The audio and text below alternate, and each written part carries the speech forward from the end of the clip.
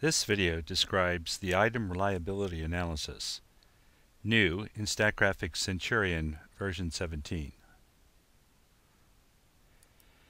An item reliability analysis estimates the reliability or internal consistency of a set of variables. It's commonly used to assess the reliability of questions in a survey or test. There are many other applications, such as comparing raters or indicators to see whether they measure the same thing. The major output is Cronbach's alpha. It's calculated for all variables together and when omitting a single variable at a time. As an example, let's suppose that 15 subjects were asked to rate their agreement six statements about a fictitious software program. The first statement is, I use the program frequently. The second statement, using the program has made me more productive. The third statement, I have obtained important information from my data by using the program. Fourth, the program is more useful than other comparable programs that I've used. The fifth, I'm looking forward eagerly to the next version. And the final statement, I would recommend the program to a friend or colleague. Each subject was asked to rate their agreement on a scale of 1 to 5, where 1 implied strong disagreement and 5 implied strong agreement. I've placed the data for the survey in the StatGraphics datasheet.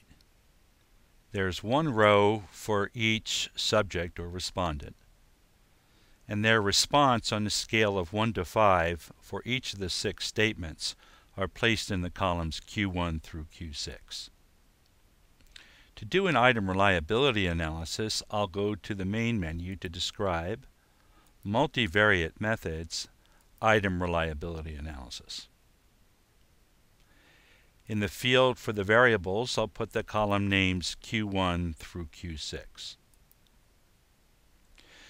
The second dialog box gives me a choice of whether to calculate a standardized version of alpha or an unstandardized version. Since all of the questions here are on the same scale, I'll stick with the unstandardized alpha. I can also request a lower bound for alpha, and I have. I've asked for a 95% lower bound.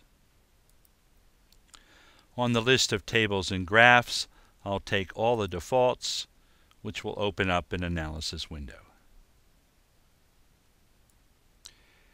The key output is in the analysis summary. In particular, I'll be looking at the value for Cronbach's alpha. It is in this case 0.77 with a 95% lower confidence bound of about 0.58. Cronbach's alpha measures the reliability of a set of k variables by comparing the sum of the variances of those variables to the variance of the sum. Theoretically, alpha should be between 0 and 1, although estimates can fall outside that range. Many researchers believe that alpha should be greater or equal to 0.7 for an instrument to be considered reliable. There's also a standardized version of alpha, which is based on correlations rather than variances and covariances. Returning to StatGraphics, you'll notice that Cronbach's alpha is in fact greater than 0.7, although the lower 95% confidence bound is not. In the second section of the table, you'll see statistics calculated by individually removing each of the variables from the survey one variable at a time. In the far right column, it calculates the value of alpha if in fact that one question had been omitted.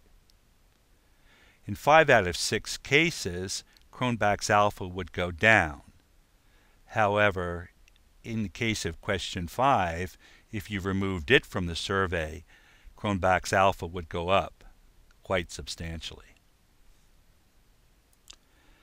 StatGraphics also creates a plot of the alphas when omitting each of the variables, one variable at a time.